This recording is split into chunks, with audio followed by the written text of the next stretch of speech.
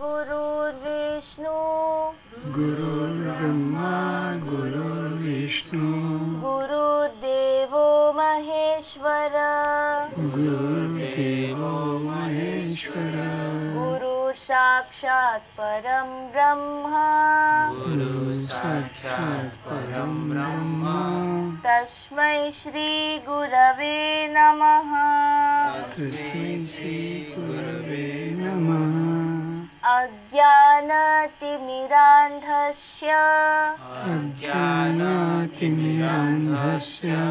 ज्ञानाञ्जनाशलाकया। ज्ञानाञ्जनाशलाकया। चक्षुरुर्मिलितं येन। चक्षुरुन्मिलितं येन। तस्मै श्रीगुरवे नमः। तस्मै श्रीगुरवे अखण्डमण्डलाकारम् अखण्डमण्डलाकारं व्याप्तं येन चराचरम् व्याप्तं येन चराचरं तत्पदं दर्शितं येन तत्पदं दर्शितं येन तस्मै श्रीगुरवे नमः तस्मै श्रीगुरवे नमः न गुरुरधिकं तत्त्वं न गुरुरधिकं तत्त्वं न गुरुरधिकं तपः। न गुरुरधिकं तपः। तत्त्वज्ञानात् परं नास्ति। तत्त्वज्ञानात् परं नास्ति। तस्मै श्रीगुरवे नमः। तस्मै श्रीगुरवे नमः चैतन्यं शाश्वतं शान्तं। चैतन्यं शाश्वतं शान्तं। व्योमातीतं निरञ्जनं व्योमातीतं निरञ्जनं नादबिन्दुकलातीतं नादबिन्दुकलातीतं तस्मै श्रीगुरवे नमः। तस्मै श्रीगुरवे नमः मन्नाथ श्री जगन्नाथ। मन्नाथ श्रीजगन्नाथ मद्गुरुं श्रीजगद्गुरुं मद्गुरुं श्रीजगद्गुरुं मदात्मा सर्वभूतात्मा। मदात्मा सर्वभूतात्मा। तस्मै श्रीगुरवे नमः। रमेश ब्रह्मानन्दं ब्रह्मानन्दं परमसुखदं परमसुखदं केवलं ज्ञानमूर्तिम् केवलं ज्ञानमूर्तिं वन्दातीतं नन्दातीतं गगनसदृशं गगनसदृशं तत्त्वमस्यादिलक्ष्यम् तत्त्वमस्यादिलक्ष्यम् एकं नित्यम्। एकं नित्यं विमलम् अचलम्। विमलम् अचलं सर्वधि साक्षिभूतम् सर्वधि साक्षिभूतं भावातीतं भावातीतं त्रिगुणरहितं त्रिगुणरहितं सत्कुरुत्वं नमामि। सद्गुरुं त्वमेव माता।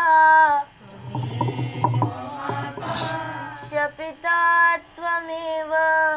पिता त्वमेव। त्वमेव बन्धु। त्वमेव बन्धु। च सखा त्वमेव। च सखा त्वमेव। त्वमेव विद्या। त्वमेव विद्या। द्रविणं त्वमेव। द्रविणं त्वमेव त्वमेव। त्वमेव सर्वं त्वमेव सर्वं मम देव देव। देव देव।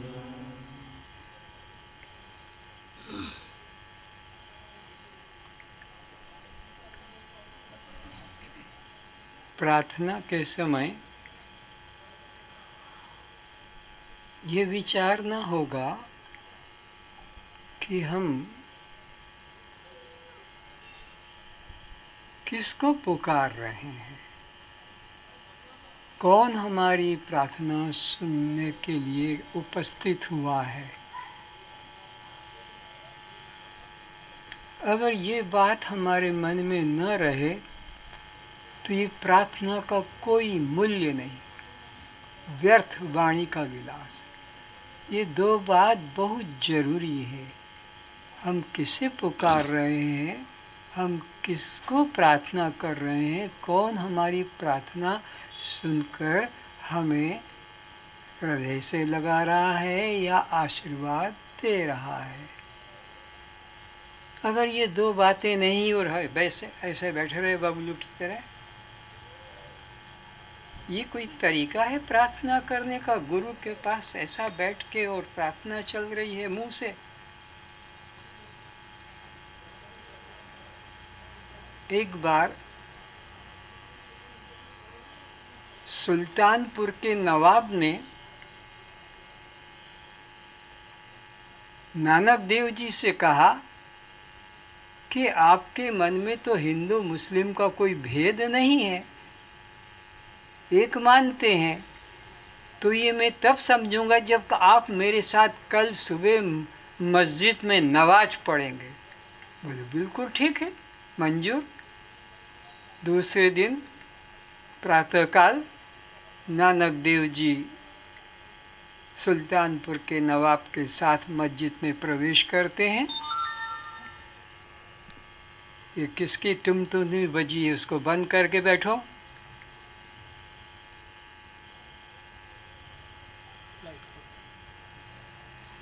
सिजदा नवाज़ पूरी हुई और नवाब ने देखा नानक देव जी की तरफ़ कि वो ऐसे कैसे ही बैठे हैं। तो थोड़ा क्रोध दिखाया कि तुमने मुझसे वायदा किया था कि मैं तुम्हारे साथ कल नवाज़ पढ़ूँगा। तुम आए भी यहाँ, लेकिन तुमने तो सजदा किया नहीं। और मुझसे वायदा किया था कि तुम्हारे साथ करूँगा। तो नानक देव जी ने कहा कि आप मेरे साथ कहाँ रहे? काजी भी पास में था। बोले, हम तुम्हारे पास तो थे दोनों। बोले, मेरे पास नहीं थे। नवाब को कहा, तुम तो काबुल में घोड़ा खरीद रहे थे।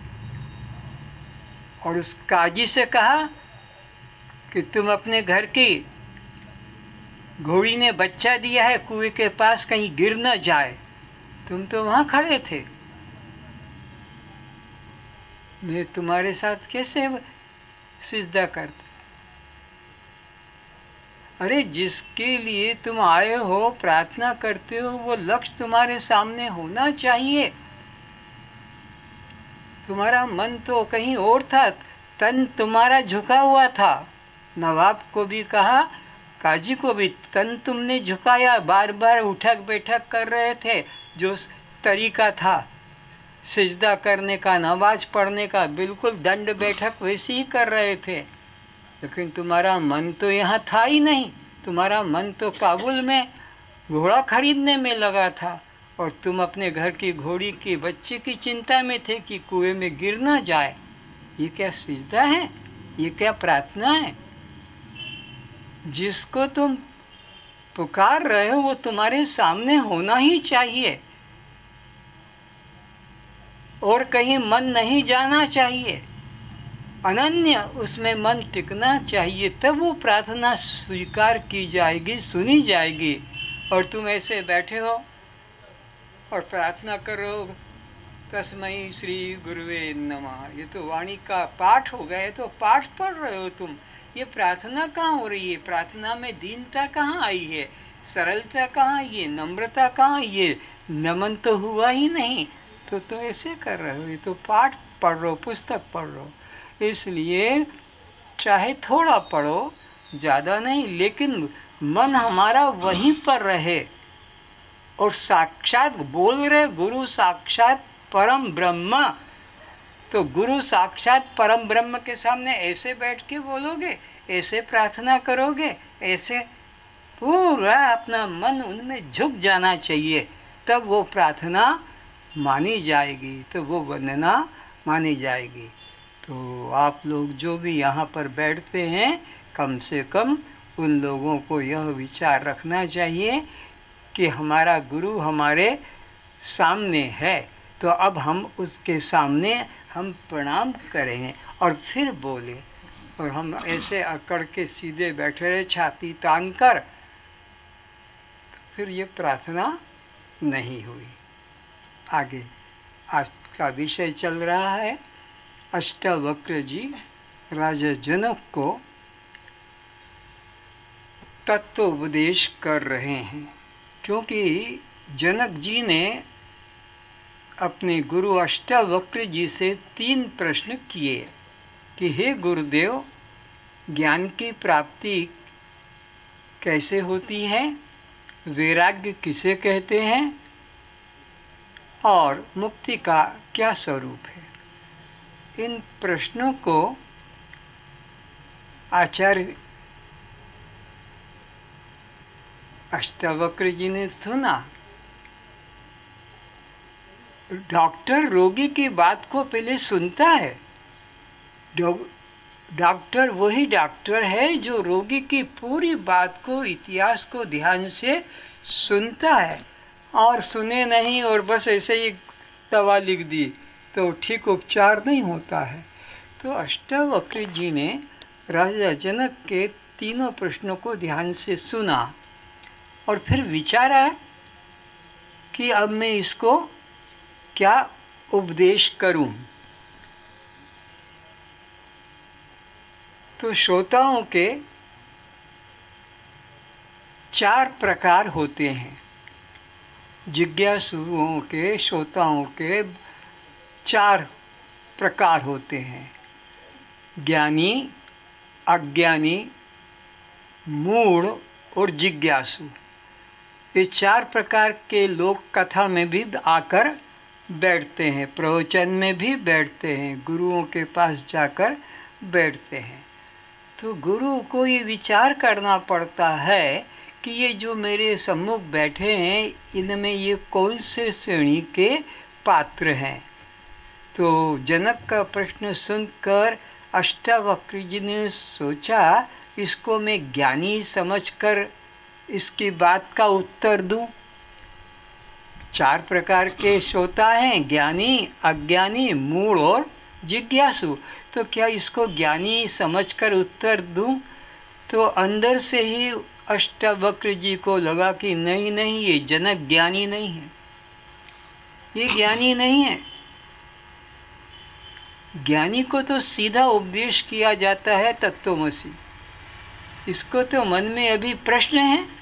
कि ज्ञान किसे कहते हैं, मुक्ति का क्या स्वरूप है, वैराग को कैसे प्राप्त होता है, ये ज्ञानी नहीं।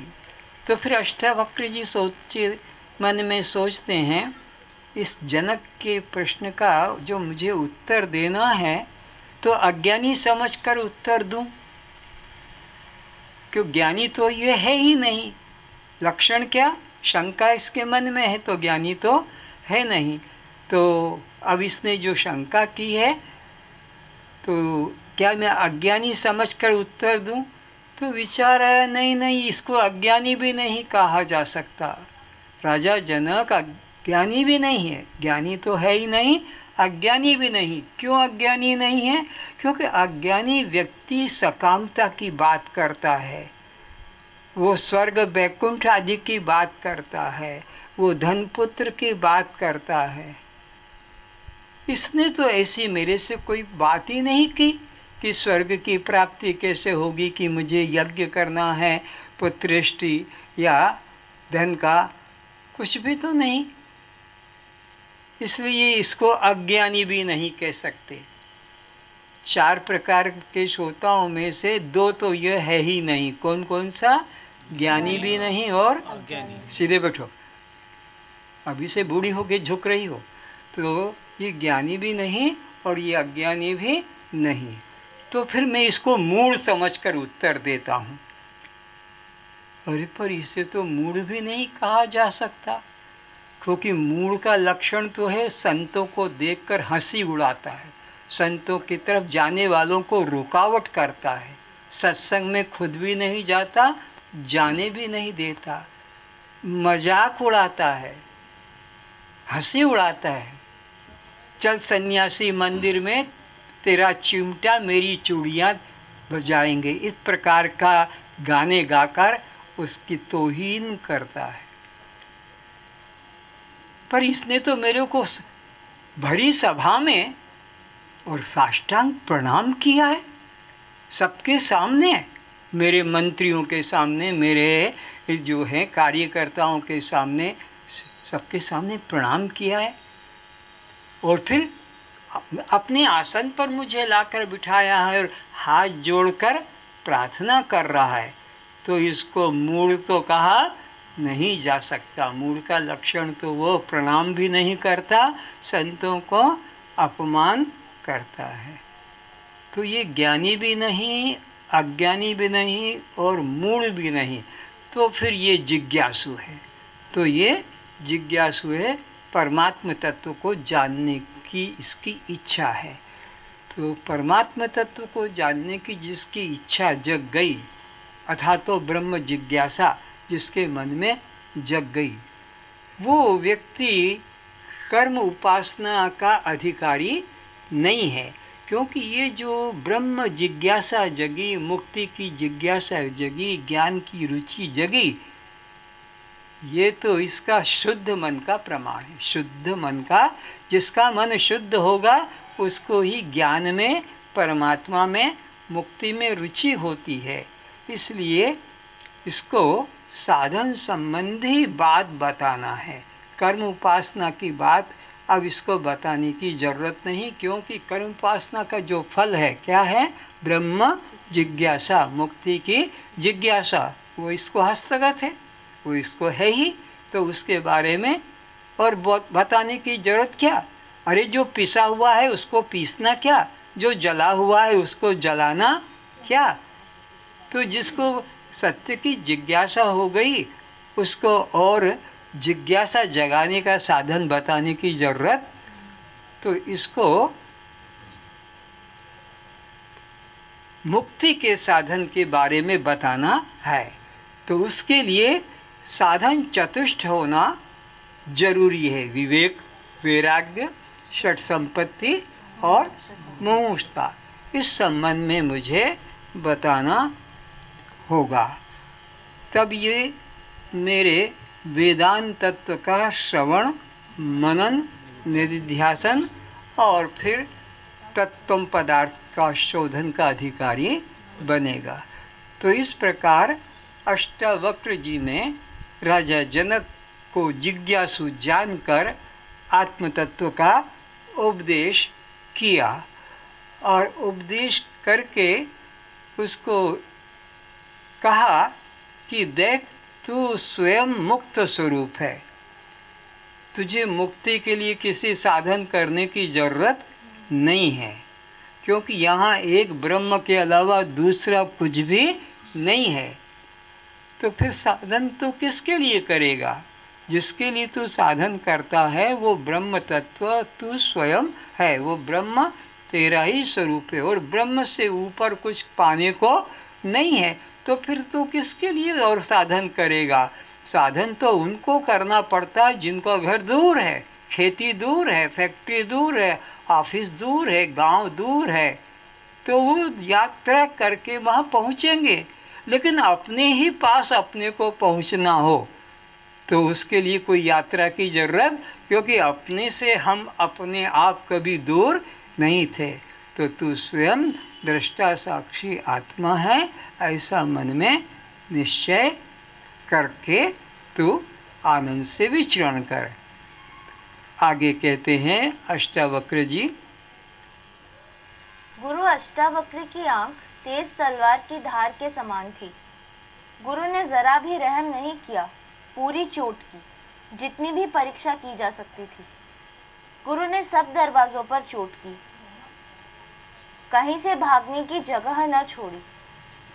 पहले भाग, पहले भोग के दरवाजे पर चोट की, फिर त्याग के दरवाजे पर चोट की।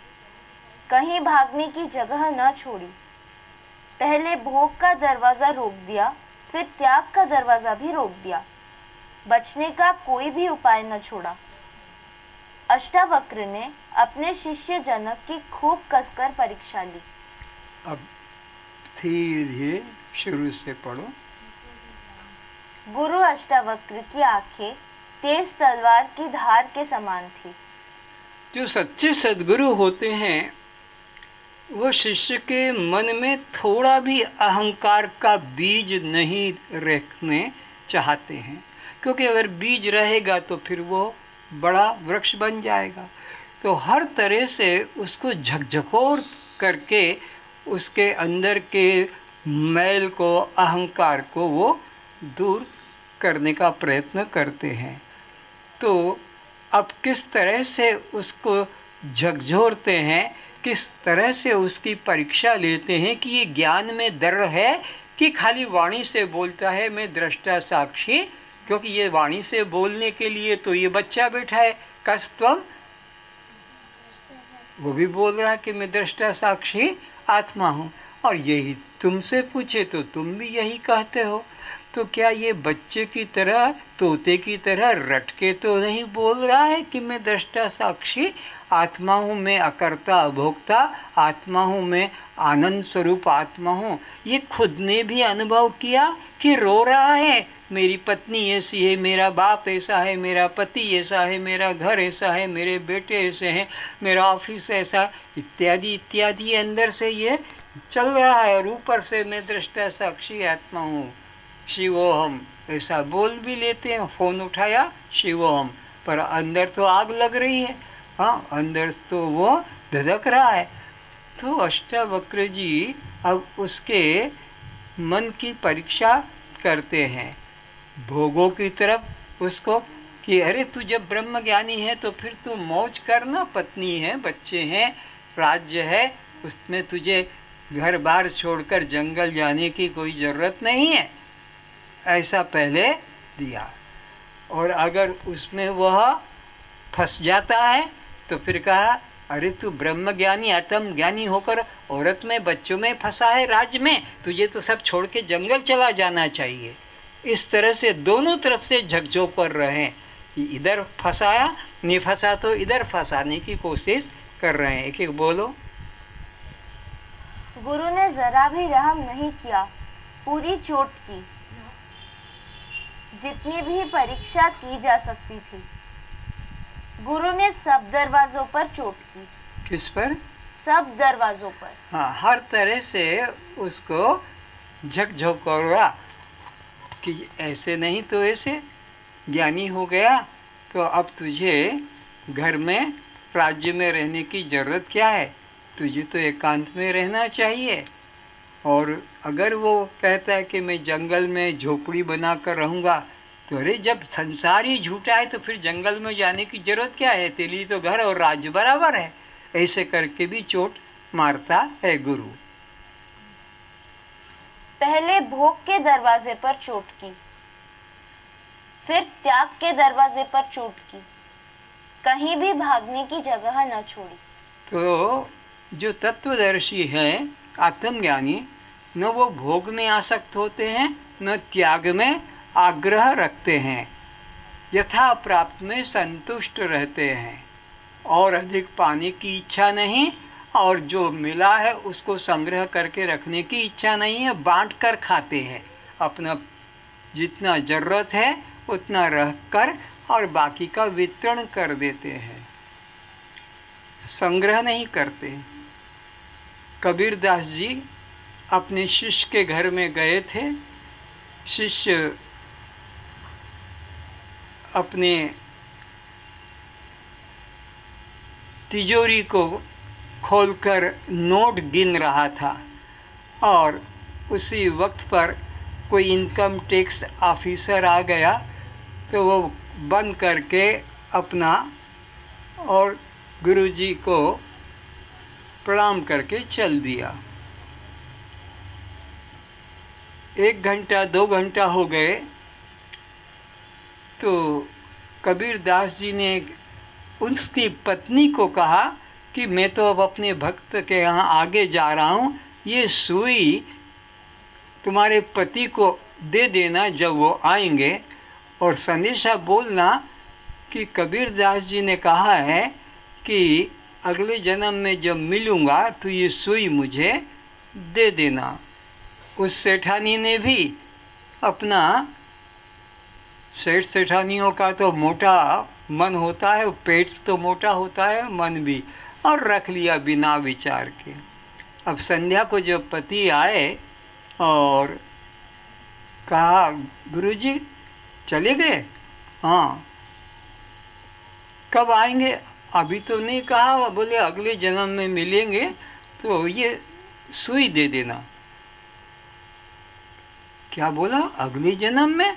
और सुई, क्या ये संग जा सकेगी? और विचार आया कि अरे, मेरे घर में इतना मैं संग्रह करके रखा है कि मेरे बेटे के बेटे खाएँ, उतना भी खत्म नहीं होगा। फिर भी मेरे मन में धन का लोभ क्यों कि ये इतना भी हो जाए, इतना भी हो जाए, ये मेरा हो जाए? तो उसका विवेक जगाया और गुरु के शरणापन्न पूर्ण रूप से हुआ। तो कहने का मतलब है कि यथा प्राप्त में संतोष करो और उसमें भी जितना आवश्यक है, उतना ग्रहण करके बचे हुए का त्याग कर दो। एक संत को भिक्षा में कुछ मिला, उसमें से तीन पैसे उसके पास खर्च करके बच गए। तो अब वो परेशान है कि ये तीन पैसे मैं किसको दूँ? तो तीन पैसे कोई लेने को तैयार नहीं, तीन पैसे कौन लेगा? और वो सन्यासी जब तक वो तीन पैसे का त्याग नहीं करेगा, वो सो नहीं सकेगा, क्योंकि वो अपने पास में पेट में जितना ज़रूरत है, उतना ग्रहण करता है। तो एक राजा जा रहा था, हाथी पर बैठा हुआ, उसको कहा है रुक जा। रुका, बोले, देख ये मेरे तीन पैसे है, इसको तू ले ले। राजा ने कहा, महाराज, आपका दिमाग ठीक है? हाँ हाँ मैं राजा हूँ, राजा। और ये तीन पैसे मुझे दे रहे हो भिकारी हूँ क्या? तू कहाँ जा रहा है? उस राज्य पे चढ़ाई करने जा रहा हूँ। क्या तेरे यहाँ राज्य में खाने की कुछ कमी है? तू तो भिकारी है। ये तीन पैसे तू ले। तो इस प्रकार के संत होते हैं, ज्ञानी होते हैं, जो अपने यथा प्राप्त में संतोष करते हैं। उनमें लोभ वृत्ति संग्रह वृत्ति नहीं होती है। तो राजा जनक की परीक्षा हो रही है अष्टावक्र जी के द्वारा कि ये कहीं पर भी थोड़ा भी आसक्त तो नहीं है अगर है तो इसको मुझे हटाना है। पहले भोग का दरवाज़ा रोक दिया फिर त्याग का दरवाज़ा रोक दिया। बचने का कोई भी उपाय न छोड़ा। तो उसको न तो भोग के अंदर आसक्त होने का रास्ता दिखा रहे हैं और न त्याग का कि त्याग करके तो घर बार छोड़ के जाओ। दोनों रास्ते रोक लिए न त्याग में फंसा रहे हैं न भोग में। बल्कि मध्य में टिका रहे, मध्य नाम है साक्षी का। जैसे कहा ना, घड़ी का पेंडुलम इधर जाएगा, बाएँ तरफ़, फिर दाएँ तरफ़ जाएगा तो घड़ी चलती है। घड़ी का पेंडुलम बाएँ में भी पूरा, दाएँ में भी पूरा, जहाँ तक है। लेकिन घड़ी का पेंडुलम बीच में रुक गया तो घड़ी बंद हो जाती है। ये हमारा जो है, भोग में भी हम अति कर जाते हैं और त्याग में भी अति कर जाते हैं। ना अति करो, ना भोग में अति करो, न त्याग में, बल्कि मध्य में टिक जाओ। तो सृष्टि चक्र खत्म। मध्य में मतलब साक्षी भाव, दृष्टा भाव में टिको तो फिर तुमको बंधन नहीं।